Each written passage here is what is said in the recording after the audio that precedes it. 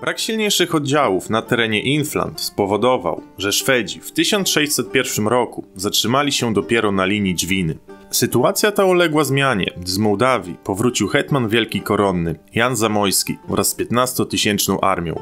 Hetman pamiętający czasy sukcesywnego zdobywania twierdz wraz z Stefanem Batorym zaniechał błyskawicznego pościgu za wycofującą się armią Karola Sudermańskiego i skupił się na długotrwałych oblężeniach. Przypadła więc szansa rozstrzygnięcia konfliktu w walnej bitwie, a wojska Rzeczpospolitej skierowały się na Wolmar. Twierdzę broniło tysiąc żołnierzy, a dowodził nimi Carlson Ilenielm i Jakub de la Garde. 18 października, podczas doskwierających mrozów, rozpoczęto oblężenie. Z trudem wzniesiono szańce, ale gdy wreszcie przybyła artyleria, 8 grudnia rozpoczęto bombardowanie. Wskutek kanonady dział powstały w murze dwa wyłomy. 18 grudnia Zamojski nakazał szturm, ale nieopłacona piechota, mimo otrzymania od razu tysiąca złotych i obietnicy dalszej zapłaty, niechętnie zbierała się do ataku. Hetman, by dać przykład, pierwszy ruszył do szturmu, a po chwili wojsko dołączyło do niego. Część piechurów dopadła do wyłomu, część spięła się na mury po drabinach, a część weszła furtką, którą otworzył mieszczanin sprzyjający Rzeczpospolitej. Rozpoczęła się zażarta walka, ale Szwedzi nie wytrzymali naporu wojsk koronnych i poprosili o rokowania. 518 pozostałych przy życiu Szwedów złożyło przysięgę, że więcej przeciw Rzeczpospolitej walczyć nie będą i wymaszerowali do Rewla. Do niewoli dostało się całe dowództwo wraz z Carlsonem na czele. Brak opłaconego żołdu, dezercje, mróz i głód spowodowały, że roty polskie stopniały do 5 tysięcy żołnierzy. Marsz jednak nie ustał i po zdobyciu okolicznych zamków zatrzymano się nad Dorpatem.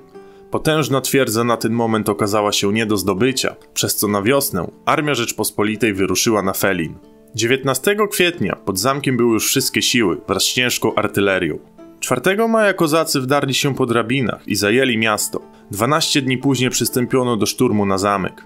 Odważni piechurzy, nie zważając na nieustanny ogień nieprzyjaciela, zasypali fosę i rozbili bramę. Tutaj padł dzielny wojewoda wendeński, obrońca Inflant, Jerzy Farensbach, pamiętający starcia z wojskami Maksymiliana pod Byczyną, czy kampanię Batorego przeciw Moskalom. Gdy tylko armia koronna dostała się na dziedziniec, przywitał ją zmasowany ogień flankowy, który okazał się zbyt silny i Polacy zostali zmuszeni do odwrotu. Straty po nieodanym szturmie były ogromne, a sam Zamojski znalazł kulę, która utkwiła w jego ubraniu. Niepowodzenie nie zdradziło wielkiego hetmana koronnego i następnego dnia wojska ponownie szykowały się do szturmu. Szwedzi na ten widok ogłosili kapitulację, ale Finowie, którzy znajdowali się w zamkowej wieży, nie zamierzali się poddać i podpalając prochy, wysadzili się w powietrze. Zdobycie Felina okupiono wielkimi stratami. Wymęczone wojsko, trapione głodem i chorobami, liczyło około 2,5 tysiąca żołnierzy. Mimo to Zamojski nie zamierzał rezygnować z dalszej ofensywy i nakazał wymarsz pod Biały Kamień, niewielką, acz nowoczesną twierdzę, którą broniło 700 ludzi i liczne działa. Hetman Wielki Koronny na ten moment ograniczył się jedynie do blokady twierdzy.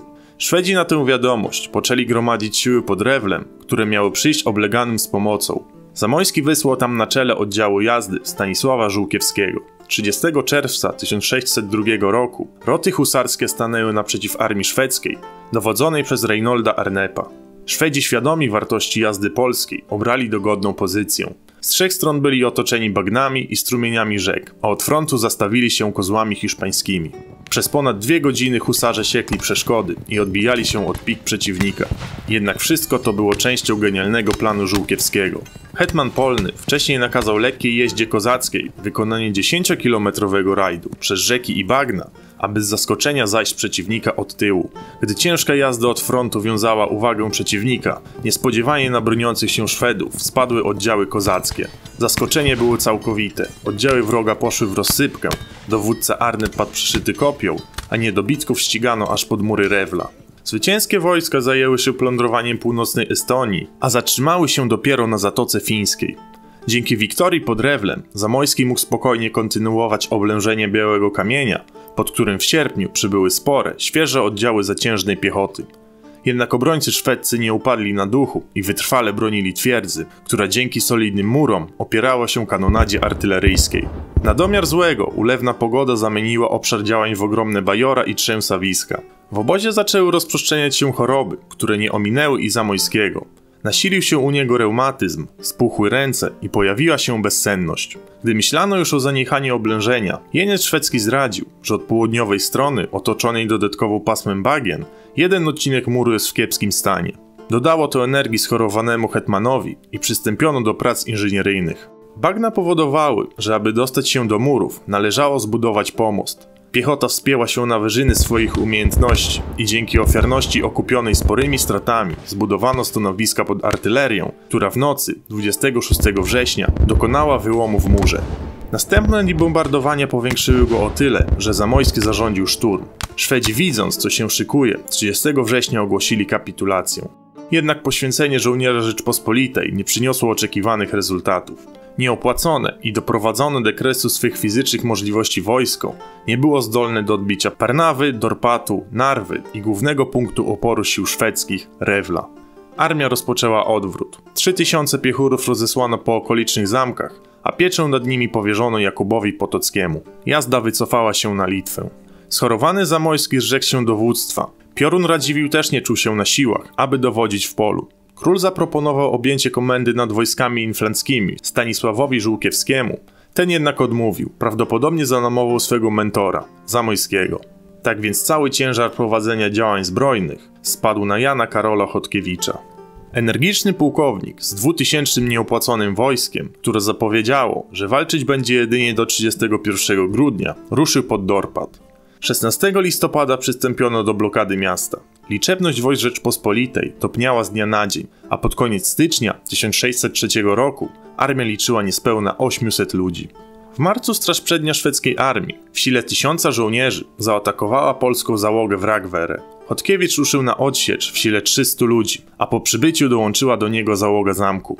Siły szwedzkie zostały pobite, po czym wojska Rzeczpospolitej stanęły naprzeciw głównej armii szwedzkiej pod wodzą Lenardsona. Chodkiewicz nie zaatakował ze względu na przytłaczającą przewagę przeciwnika, ale i Lenardson nie odważył się zaatakować jazdy litewskiej.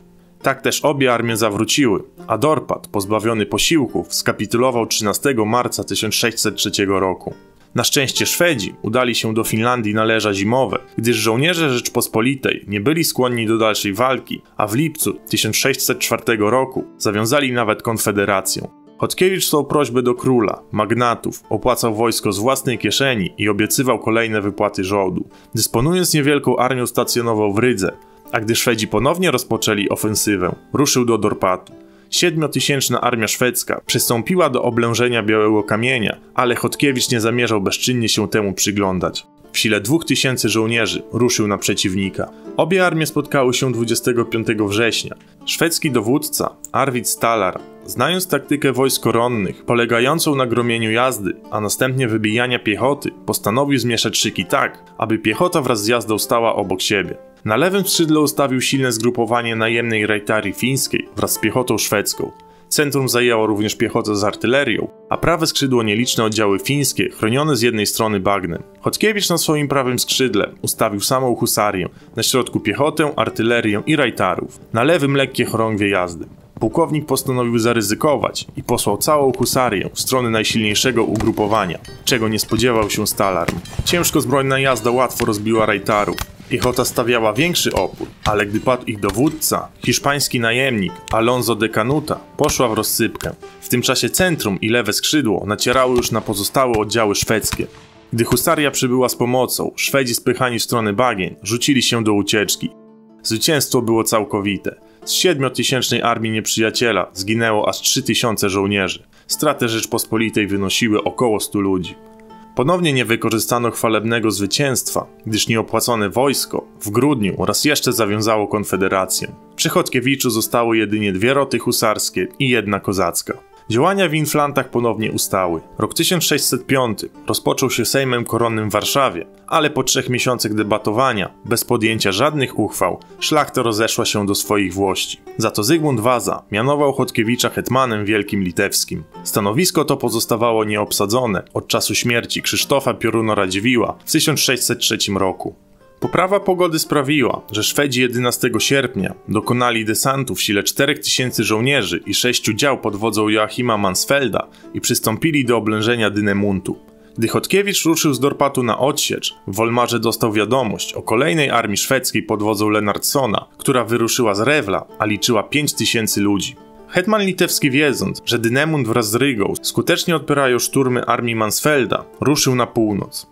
Lenartson i Chodkiewicz spotkali się pod Wigalą, jednak odbyło się bez potyczki i wkrótce Szwedzi wycofali się do Parnawy, gdzie lądował z pięciotysięcznym wojskiem Karol Sudermański. Następnie złączone siły 23 września stanęły pod Rygą i Dynemuntem, wzmacniając armię Mansfelda, które oblegały obie twierdze. 26 września o zmierzchu, po 125-kilometrowym rajdzie przebytym w dwa dni, Chodkiewicz w sile około 3000 żołnierzy zjawił się 13 km od Rygi, aby nie dopuścić do jej zdobycia. Karol na tą wieść zamierzał posłać w stronę Litwinów 8 tysięcy ludzi, ale doświadczeni dowódcy Lennartson, Fryderyk Luneburski i hrabia Mansfeld zdołali przekonać butnego Szweda do porzucenia oblężenia Dynemuntu oraz Rygi i skierowania całych, prawie 12-tysięcznych sił przeciw wielkiemu hetmanowi litewskiemu. Armia szwedzka wyruszyła w nocy, a o świcie pojawiła się pod Kirchholmem. Chodkiewicz, świadomy ruchów nieprzyjaciela, wycofał się na wzgórze za twierdzą, gdzie ustawił swoje oddziały. Centrum w pierwszym rzucie zajmowała husaria, pod dowództwem porucznika Wincentego Wojny, w sile 300 ludzi. Między nimi usadowił się tysiącosobowy oddział piechoty wraz z artylerią. Drugi rzut liczyła husaria Teodora Lackiego, licząca 200 ludzi. Trzeci rzut husarii również posiadał 200 kawalerzystów. Lewe skrzydło pod wodzą Tomasza Dąbrowy liczyło 200 kozaków. Drugi i trzeci rzut zawierał mieszankę husarii, arkebuzerów i kozaków, razem 600 ludzi. Na prawym skrzydle pod dowództwem Jana Sapiechy w pierwszym rzucie husaria i jej lżejsza odmiana, Petry Horcy.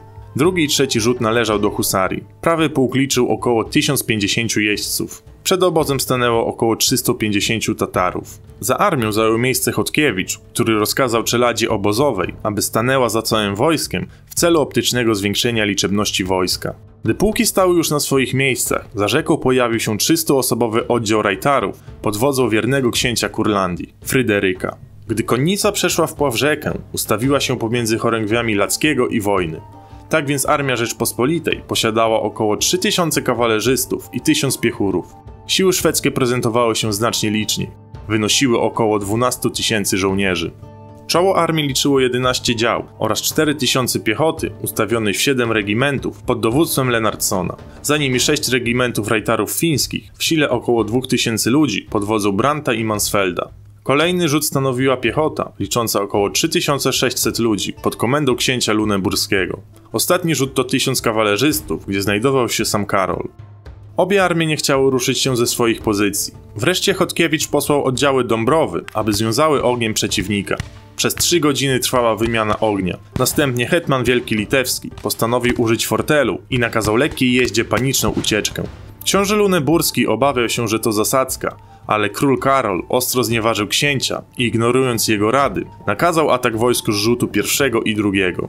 Gdy Szwedzi poczęli wspinać się po wzgórzu, przywitała ich salwa strzelców, a po chwili 300-osobowy oddział husarii Wincentego Wojny i takoż sama liczba rejtarów kurlandzkich związała walką prawie 4000 piechoty, a po chwili zaczęła brać nad nimi górę. Następnie ruszył Dąbrowa z wszystkimi swoimi pułkami i powodując wielką kurzawę spod kopyt końskich, uderzył na rejtarów Mansfelda, którzy po chwili rzucili się do ucieczki, wpadając w piechurów z trzeciego rzutu. Na prawym skrzydle jazda Branta zwarła się w walce z oddziałami Sapiechy. Karol posłał tam w sukurs dodatkowych 700 jeźdźców, na co w odpowiedzi Chodkiewicz prowadził do walki chorągwie Teodora Lackiego, które obeszły i rozbiły przeciwnika. Bitwa zakończyła się w niecałe pół godziny. Za uciekającymi rajtarami Mansfelda ruszyły lekkie chorągwie tatarskie, a jazda Dąbrowy wsparła walczących w centrum. Gdy częściowo rozbita szwedzka piechota wrzuciła się do ucieczki, uderzono na centrum, gdzie bronił się Karol Sudermański. Wtedy jego armię ogarnęła totalna panika. Dodatkowo oddział Lackiego pojawił się na tyłach armii nieprzyjaciela. Szwedzi rzucili się do ucieczki w stronę okrętów, którymi mogliby wrócić do kraju. Pogoń wojsk koronnych dokończyła dzieła. Sam Karol ledwo uszedł z życiem, gdyż padł pod nim koń, ale swojego ofiarował mu szlachcic inflancki Henryk Wrede, który wkrótce po tym został rozniesiony na szablach. W bitwie padł Lennartson i książę Luneburski oraz według różnych statystyk od 6 do 9 tysięcy szwedzkich żołnierzy. Rzeczpospolita straciła 100 ludzi, kilkuset rannych i wiele koni. Zwycięstwo było kompletne i odbiło się szerokim echem na całym świecie. Geniusz Chodkiewicza i bitność jego wojsk podziwiali najwięksi ówcześni władcy. Nie szczędził też pochwał król Zygmunt, ale jedynie na tym poprzestał. 28 września Chodkiewicz przybył do Rygi, ale tak jak przez całą trwającą kampanię. I to chwalebne zwycięstwo zostało zaprzepaszczone.